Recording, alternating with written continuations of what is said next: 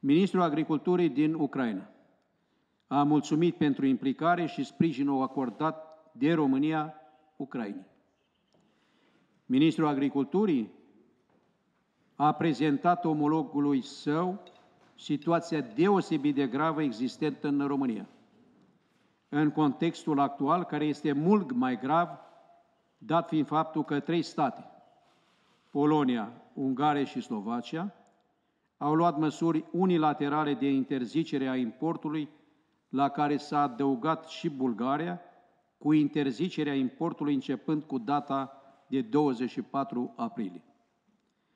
În aceste condiții, România rămâne singura poartă de import a produselor din Ucraina. România a luat măsura de intensificare a verificărilor în vamă, a calității produselor importate, importate din Ucraina, verificări coordonate de către ANSVSA, instituția care are responsabilitate în acest domeniu, folosindu-se de legislația europeană în vigoare. Această măsură a fost comunicată ministrului ucrainian.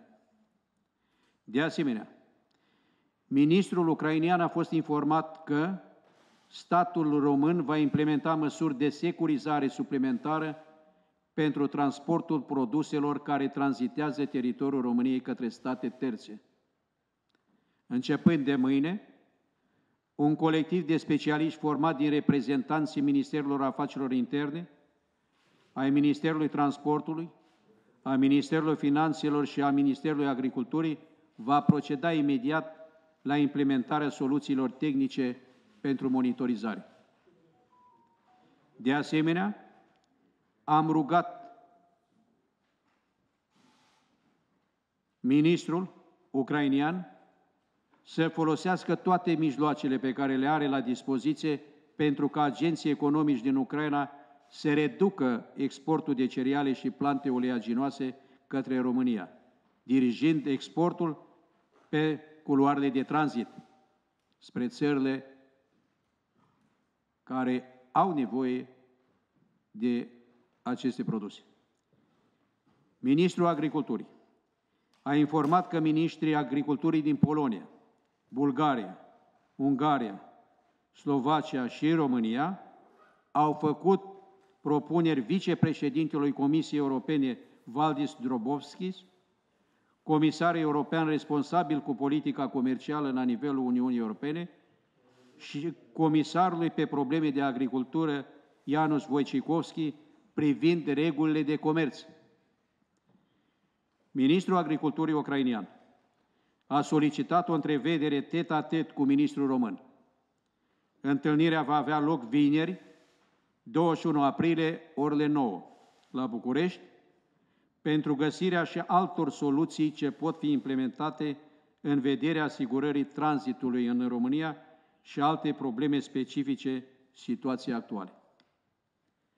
La orele 15, Ministrul Agriculturii a avut o întâlnire în format videoconferință în cadrul căreia a purtat discuții cu omologii din Polonia, Ungaria, Bulgaria și Slovacia pentru a se pune de acord asupra conținutului unei scrisori care a fost deja înaintată comisarului responsabil de comerț exterior și comisarului pentru agricultură, cu măsuri pe termen scurt, mediu și lung, necesare pentru protejarea fermierilor. La orele 17 a fost demarată ședința de lucru în format de videoconferință cu Valdis Dobrovskis, comisar european responsabil cu politica comercială la nivelul Uniunii Europene și comisarul cu probleme de agricultură Janusz Wojciechowski. La această întâlnire alături de, mi de mine, în absența ministrului antreprenoriatului și turismului, Constantin Cadariu, a participat secretarul de stat de la Ministerul Antreprenoriatului și Turismului, Horațiu Clepan, președintele ANSVSA-ului, Alexandru Bociu, care iată că a rămas și la această conferință de presă, și trei consilieri de stat din cadrul Cancelariei primului ministru. Secretarul de stat de la Ministerul Antreprenoriatului și Turismului nu a reușit să înțeleagă că e nevoie să comunice și nu a rămas la această conferință. Discuțiile au pornit printr-un tur de masă în care ministrii responsabili cu comerțul exterior, respectiv agricultură, au prezentat situația existentă în țările lor. România a precizat faptul că are în prezent cea mai mare expunere privind impactul negativ al importurilor din Ucraina, întrucât celelalte state vecine au luat măsuri unilaterale privind interzicerea importurilor.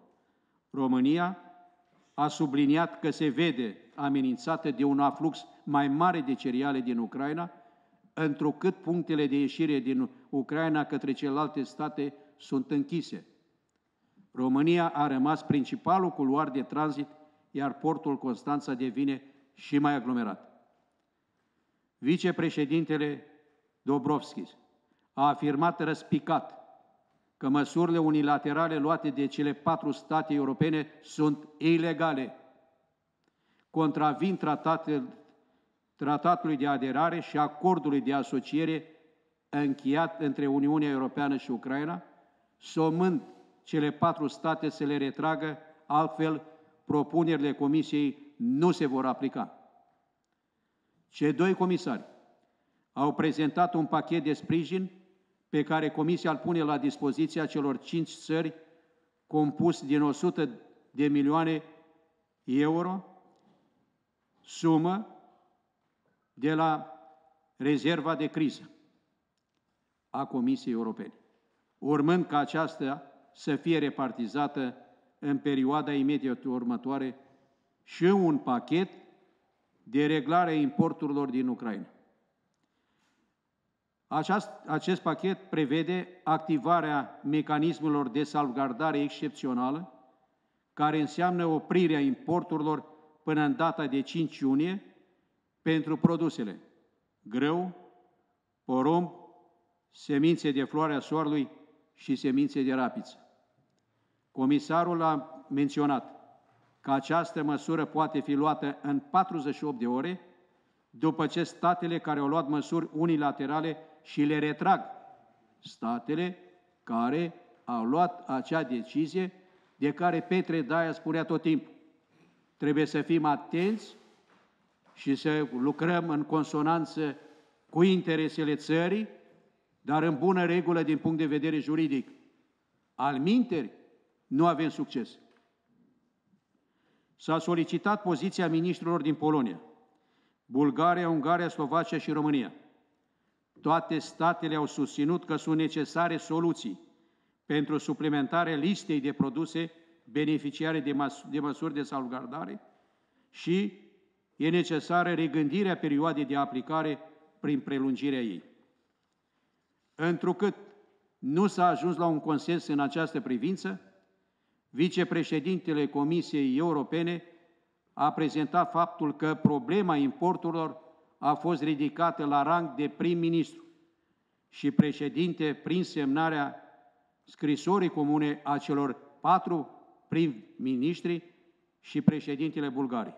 Prin urmare, a solicitat ca statele membre să se pună de acord până la finalul acestei săptămâni prin consultarea primilor miniștri și a președintelui Bulgariei. Aștept mâine,